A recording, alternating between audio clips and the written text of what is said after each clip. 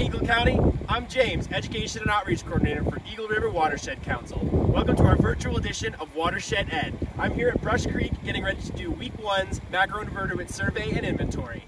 Macro means that these aquatic insects are large enough to see with the naked eye and don't need to be seen with a magnifying glass or a microscope. Invertebrates means that they don't have a backbone.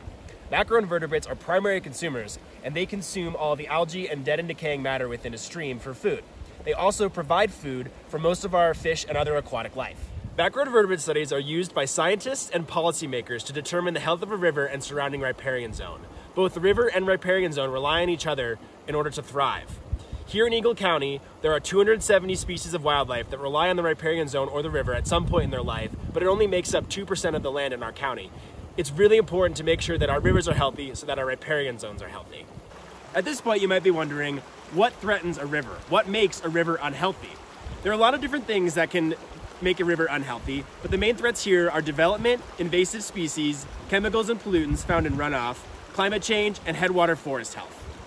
Now, let's go find out what gear we need to do our own macroinvertebrate study and see if our rivers are healthy. There are a lot of fancy materials you can use to make a macroinvertebrate study more efficient, but all you really need are a few household items that you probably already have. One of those items is an old toothbrush that you've cleaned to remove any toothpaste left over or any oil that you might have used to clean off your mouth. Another thing that you need is an ice cube tray that we're going to use to collect the macroinvertebrates. A helpful item to have would be a notebook so you can record what macroinvertebrates you've found, and I would also recommend some form of water chute, whether it's a Chaco or waders like I'm wearing. There are three main methods for collecting macroinvertebrates, and the first is using your hands to dig into the stream bed and stir up the macroinvertebrates that are down in the stream bed. The second one is using your feet to shuffle along the bottom, also stirring up all of those bugs that are stuck down in the rocks. Both of those require a D-net like this one, which I'm assuming most of you don't have. So our third technique is the one that we use a toothbrush, and we find a rock in the stream, pick it up, and use our toothbrush to gently rub the macroinvertebrates off of them directly into our ice cube tray for the inventory that we're gonna do right after this.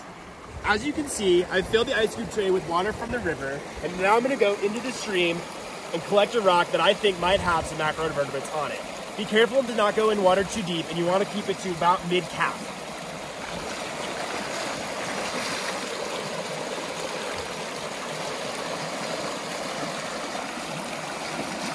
You can see this is a pretty good one. There's a bunch of little creepy crawlies hanging out on here. That one I think is a caddisfly, but we'll do an ID later. Now we're gonna use our toothbrush to gently brush these macroinvertebrates into the ice cube tray.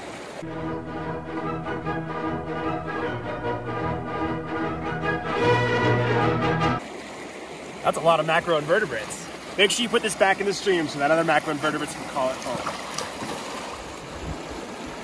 All right, now that we've spent the time and collected all of our macroinvertebrates, we can run through this dichotomous key that I provided in the lesson plan um, to figure out what macroinvertebrates we found here today at Brush Creek. Um, I went through it myself and found a bunch of these guys, these midge flies, which are tolerant species. So they tend to be able to handle a lot more pollutants than other ones. I found a couple right here in this little ice cube cubby.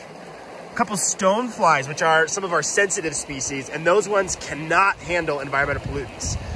This really doesn't tell the whole picture because um, this method doesn't collect all of the environmental, um, all the macroinvertebrates rather here in the river. It just captures a few of them that like to live on rocks. So this doesn't give a holistic health of the watershed, but it certainly gets us close to a bunch of these little critters and gives us some insight into what's going on. Our next step, once we've got all of our macroinvertebrates collected and counted, we wanna make sure these guys get back into our creek that we pulled them from. Put them back in their home. Make sure you've collected all of the other gear that you've used from your toothbrush, your waders, water bottles, anything that you might have brought to the stream with you. Make sure you collect all of that. And if you see any trash, pick that up. We want to make our rivers clean and, you know, we like to leave things cleaner than we found them, right? Hey, Eagle County, thanks so much for tuning in to our first virtual Watershed Ed. We're going to have these posted every week on our YouTube channel and shared on our Instagram. Please subscribe at outreach at erwc.org or consider subscribing to our YouTube channel. If you like this video and want to see more of them, consider donating to the Watershed Council and support programming like this one. See you guys next week.